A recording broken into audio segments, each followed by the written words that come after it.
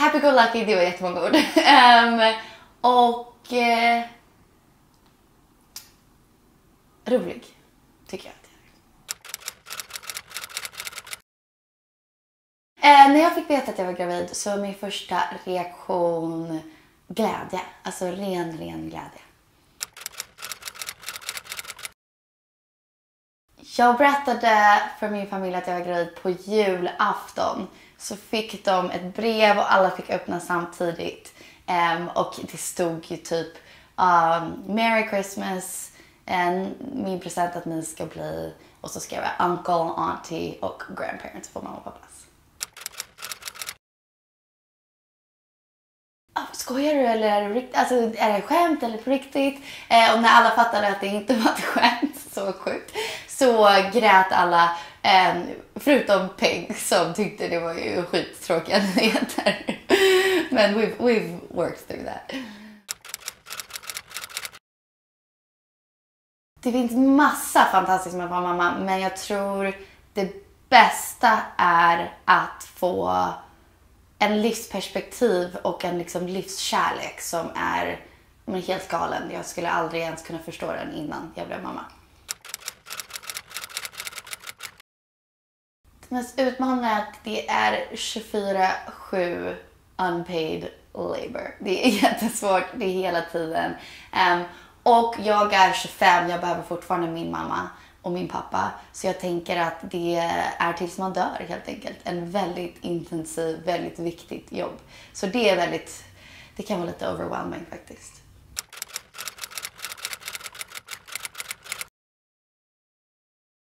Oh, lätt. Kristen Bell, eh, Blake Lively, och sen, eh, vem mer? typ Chris Hemsworth för att han är snygg. Eh, och sen eh, någon som kan sjunga också, det vore härligt så att de kan gigga lite. Harry Styles, vi kör Harry Styles, why not? Han kan sjunga lite i bakgrunden, Chris Hemsworth kan stå och se snygg ut. Och sen så hänger jag med Kristen och Blake och vi snackar mom life.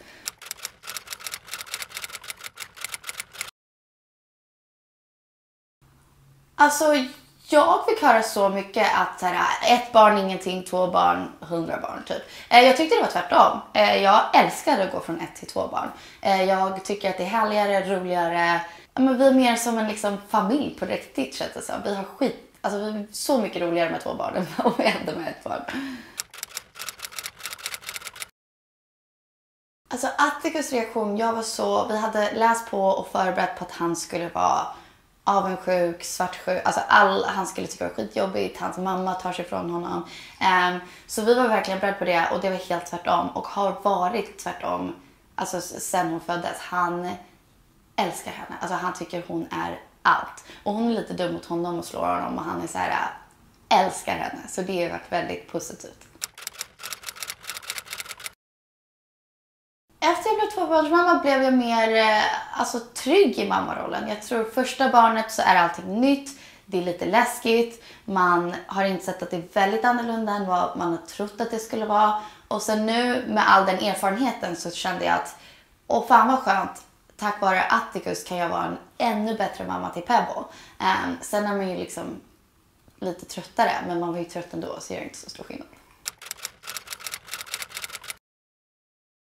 Jag packade med mig, det här var ju dock inte onödigt, men många skulle tro att det är lite onödigt, eh, parfym. Men jag, alltså mycket parfym. Jag är jättekänslig mot doft. Och de säger ju att bebis ska, ska dofta dig och inte parfym. Men det hjälpte mig så mycket att bara känna mig som lite människa och lite mindre djur. För att jag, man har ju liksom blod överallt och man förstår inte vad som är vad. Och lite att få dofta fräscht hjälpte mig mycket faktiskt. Min stora gravid-craving var is. Alltså jag kunde tugga ett helt glas med is och eh, jag behövde tugga ett helt glas med is varje natt. Eh, och Douglas höll på att bli galen och han var så här jag kan inte säga någonting, hon är gravid, jag fattar det är lugnt. Men han tyckte det var skitjobbigt att höra den här varenda natt innan vi skulle gå och lägga oss.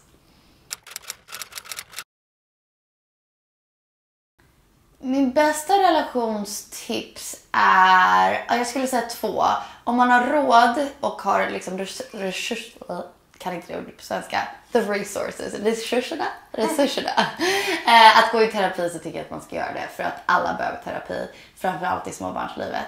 Men om det inte är en option så tycker jag att eh, men, var öppen och ärlig, prata om er relation, ingen har det perfekt och eh, lite typ så här du kan också lite grann bestämma vilken, vilken humör du kommer vara i. Och ibland kan jag vakna och vara så här, tja, god morgon, ja, ha en bra dag. Eller så kan man vara så här, vet du vad, jag känner inte för att ge honom en puss för att han har snarkat hela natten. Men nu ska jag gå, fan gå fram och ge honom en puss och säga, jag älskar dig, hoppas du har en bra dag. Och helt plötsligt blir man lite mer kär.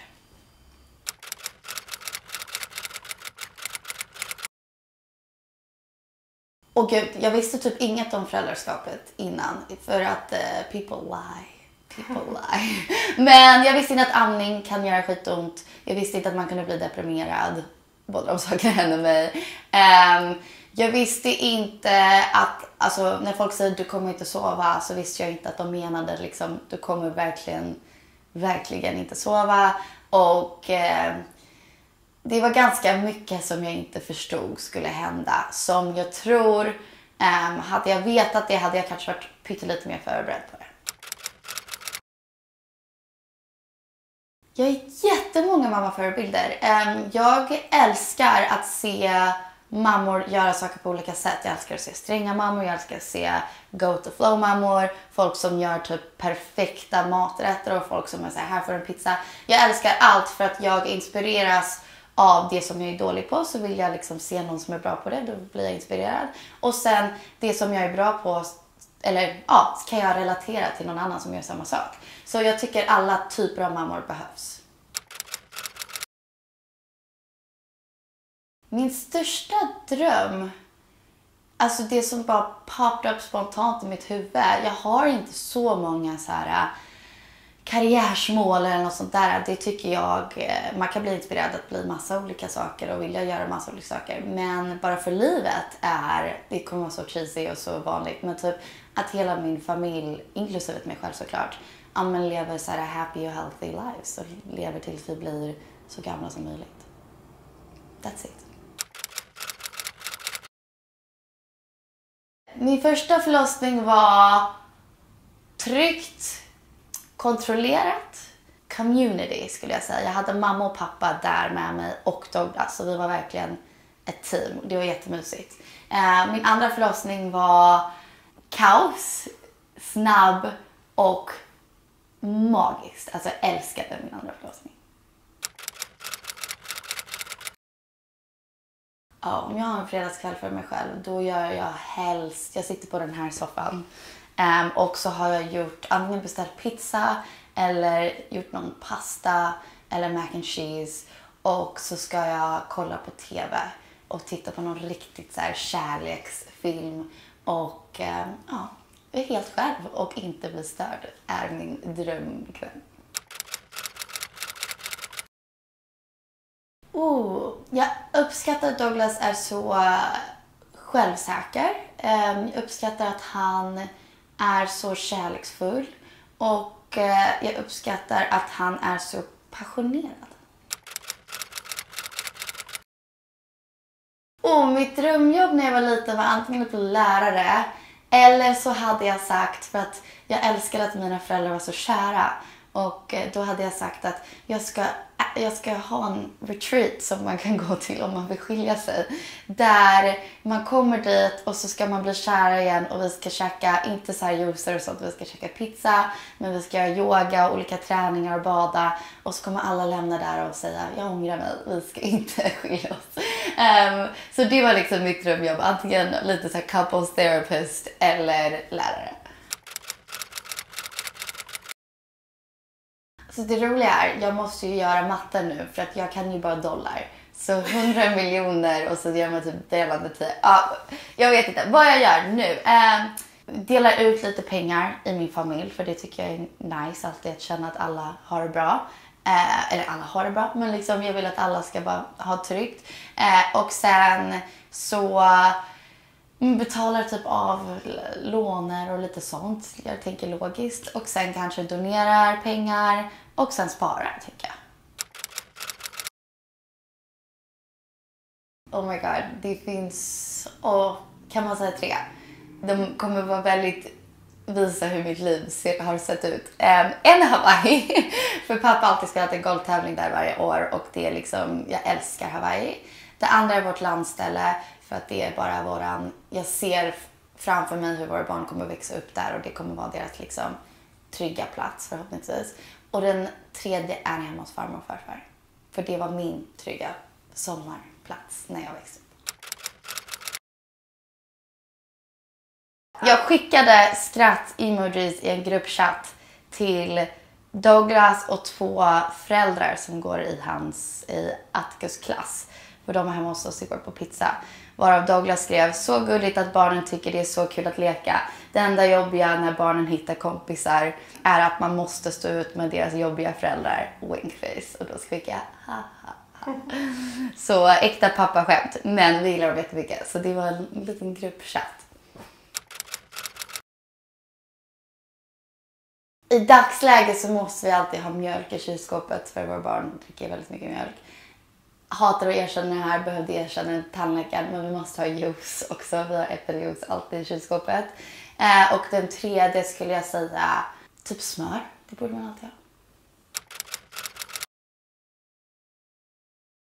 Ett, ta inte dig själv så himla seriöst. Och typ, det är okej att göra fel så länge man ber om ursäkt. Och man kan be om ursäkt till liksom en sex månaders och en ettåring och en 12-åring och en 18-åring och 25. Alltså man kan be om ursäkt hela livet och det är helt okej och det är bra. Men min hack-hack är köp sådana här eh, ähm, målarfärg som man kan ha äh, i badkaret. Så brukar jag när jag tycker att de är lite högljudda och så, så sätter jag dem i badkaret utan vatten så kan de bara gå loss i badrummet.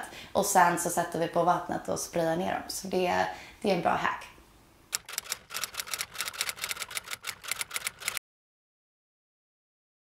Oh. Mina föräldrar var jättekärleksfulla och väldigt go with the flow. Hade, eh, planerade aldrig någonting. Så där, där är jag väldigt lik. Men de var ändå så här, de hade vissa saker som typ är lite, på engelska man säger typ non-negotiable. Så att så här, vissa boundaries som var supertydliga. Och där känner jag att jag gör samma sak. Att här, jag go with the flow och jag vill att barnen ska ha liksom en underbar, rolig barndom. Men det är vissa saker som man måste sätta boundaries på och man måste vara sträng med. När barnen har somnat så vill jag helst typ sätta mig och käka middag. Vi har lite av en grej i familjen att så här, vi äter inte förrän barnen har somnat. För att jag hatar känslan av typ hetsäta och jag älskar mat så mycket så att så här, att inte njuta av maten och sen springer de iväg och så. Så vi brukar försöka få dem att somna och sen äter vi middag så att vi kan verkligen njuta. Och om det är framför tvn eller framför tänt ljus med vinglas, who cares? Men att man kan liksom lugna ner sig lite.